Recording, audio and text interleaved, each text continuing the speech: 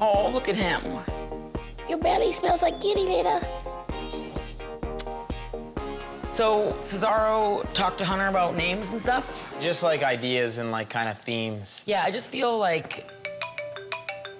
Hello? Hi, Nat. Are you at home? Yeah? I have some bad news about Daddy.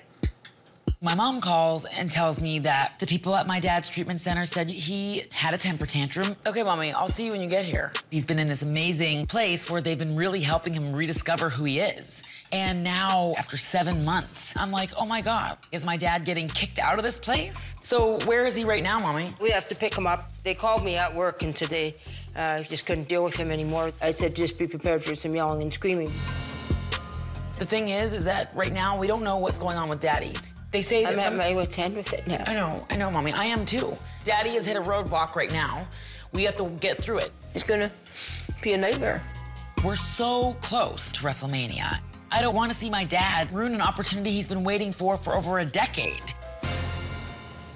I just don't know what to do anymore with him.